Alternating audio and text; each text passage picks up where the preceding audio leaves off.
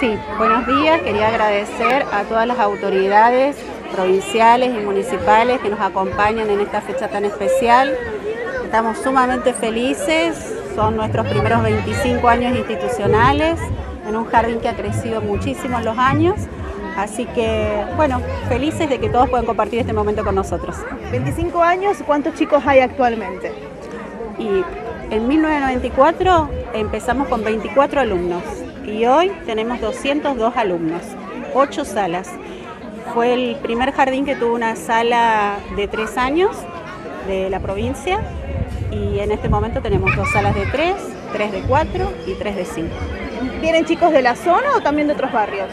No, tenemos chicos desde la, de la zona, tenemos de distintos barrios y hasta tenemos de otras localidades que también nos eligen y por supuesto los, los cobijamos también en nuestra institución. Muy emocionante me imagino entonces para todos los docentes. Sí, por supuesto, sumamente felices. Bueno, hoy nosotros estamos realizando nuestro acto protocolar.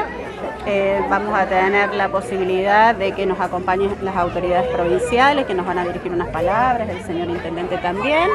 Y para cerrar vamos a tener un número musical, alegórico, y bueno, después tenemos nuestra, nuestro festejo con, las familias y con todos los niños, así que bueno, esperando que todo transcurra de la mejor manera posible, alegres, felices, contentos. Un honor esta invitación, muy agradecida en nombre del municipio.